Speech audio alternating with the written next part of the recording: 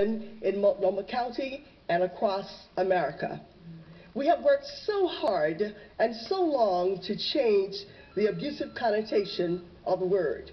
We have worked tirelessly to rebuild self-esteem of countless number of women plagued by the single abusive use of the word. On this occasion, you offered an apology.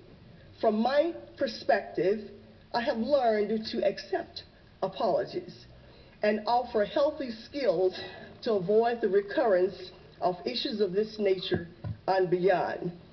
There is a book called Ecclesiastes 3 that states, For everything there is a season and a time to every purpose under the heaven. We are in a season of change for past practices, patterns, behaviors, and mindsets. Or we must divert to a season of change in leadership.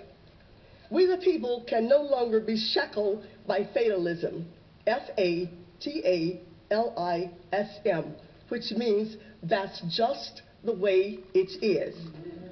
And to Commissioner Smith in her absence, D. Harris Leadership Institute, LLC, would like to comment how disturbing it is for a county commissioner with tenure who is a woman of color, whom we assume understands the challenges and roadblocks of people of color, to appear to have worn blinders.